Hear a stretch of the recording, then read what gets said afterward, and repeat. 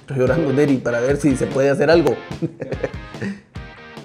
Siete herramientas imperdibles que los emprendedores deben conocer. Te quiero hablar de herramientas un poquito más concretas o un poquito más destinadas al emprendimiento como tal. Herramientas que a mí me han servido. Ojo, quiero que apuntes y quiero que las vayas a buscar y las estudies. Soy Beto López, esto es Marca Emprende, iniciamos.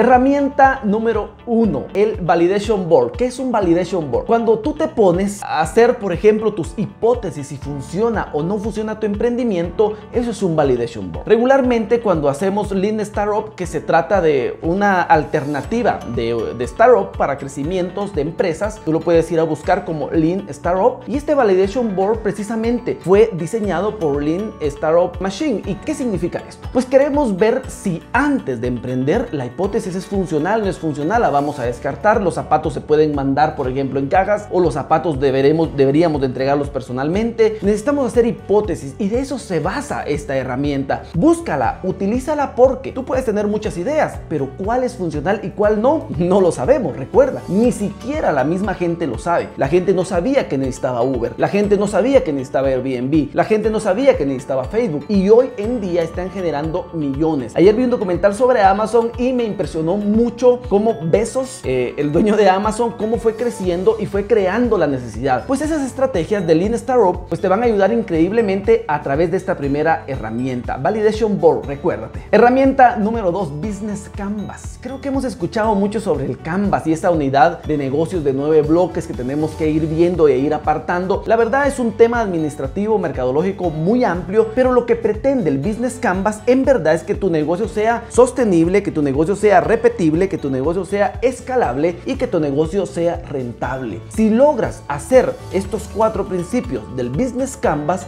vas a lograr un negocio muy productivo. No te lo puedo explicar aquí, pero me gustaría que tú investigaras un poco más. Recuérdate que estas herramientas son importantes antes de iniciar un emprendimiento. La herramienta número 3 es un CMS que es WordPress. ¿Quién no conoce WordPress hoy en día y es necesario que tengas una página web? Muchas personas me dicen, pero si tengo redes sociales, ¿para qué quiero una web? Ojo, muy diferente una página web, muy diferente tus redes sociales. Con tus redes sociales tú hablas, tú haces bulla, tú gritas y es que las redes sociales es como que tuvieras una unidad de perifoneo con un altoparlante y llames, hola, vendo zapatos, vendo helados, pero tu WordPress o tu página web es el local virtual en donde van a llegar las personas. Entonces, recuérdate, las redes sociales van a hacer todo lo que necesitas de bulla, del grito, pero tu página web es donde van a aterrizar y obviamente necesitas muchas herramientas que vamos a ver en próximos videos, como por ejemplo hacer un funnel o un embudo para que la gente llegue, un retargeting para que se recicle y le salga la publicidad, pero es tan importante que tengas una página web. Entonces recuérdate, necesitamos crear un validation board o lo que vamos a crear primero las hipótesis,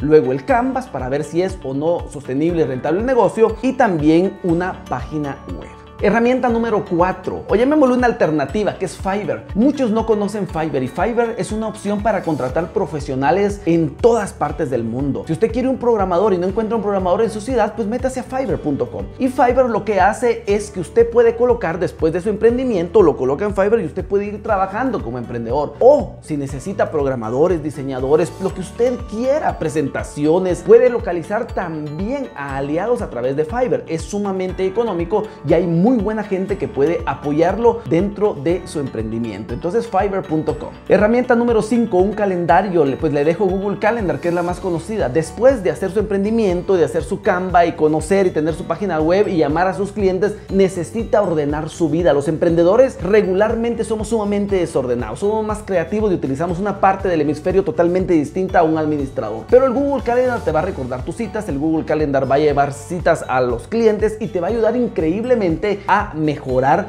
también tu objetividad, porque vas a decir, bueno, me tomo un tiempo para hacer esto, me tomo un tiempo para hacer lo otro, y creo que te va a ayudar mucho a crecer como emprendedor. Google Calendar. Herramienta número 6, WhatsApp Business, también Skype. Las voy a colocar juntas porque creo que son herramientas conocidas para todos. El WhatsApp Business es la herramienta que hemos hablado en otros videos para que tú no uses tu propio WhatsApp. Utiliza el WhatsApp Business, son totalmente distintos. Los iconos son distintos y los puedes anidar a cualquier teléfono local, no necesariamente un móvil. Entonces, si tu empresa tiene ya un teléfono, un PBX, por ejemplo, o un call center, lo puedes anidar a tu call center o a tu PBX o a tu teléfono local. Y el Skype también, porque vas a necesitar videoconferencias para hablar con la gente de Fiverr o para hablar con la gente o tus clientes en donde quiera que tú los tengas. Y por último, la herramienta número 7, utiliza gestores de contenido de marketing digital. Aunque muchos no han estado de acuerdo con esto, a veces no tienes a la mano un diseñador. Entonces hay herramientas como Canva o herramientas como Crelo o herramientas como Spark, que yo lo he explicado en otros videos, que te ayudan a emprender un poco más rápido. ¿Es lo ideal? Tal vez no, pero sí te va a sacar de muchos problemas muy rápidamente. Te va a ayudar a publicar en tus redes sociales. Ya tienes tu emprendimiento, ya creaste las hipótesis,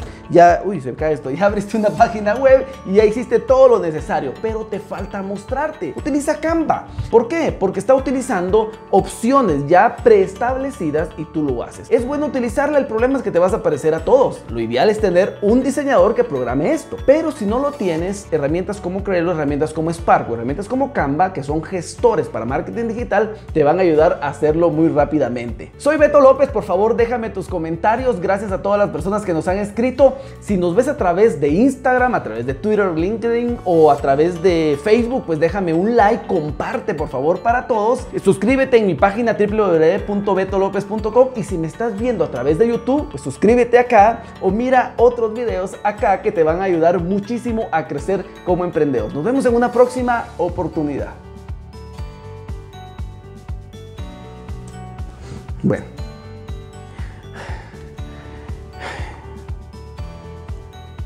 Tanto que hablar, Vanessa.